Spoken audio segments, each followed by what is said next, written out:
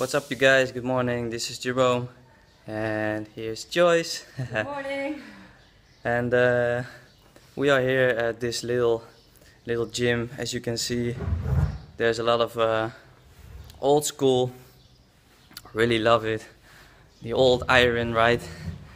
And uh, well, short tip from us: if you go on a holiday and uh, you're going uh, to uh, warm country like like Ibiza, it's like 25 to 30 degrees.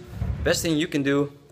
That's also what we are doing every single day, or like four times a week. Is just keep your training short, like doing some some HIIT high high intensity, doing a couple exercises, supersets, and that's uh, when when you have to don't have to train very for a very long time, but you just uh, well do your exercises and uh, enjoy your day.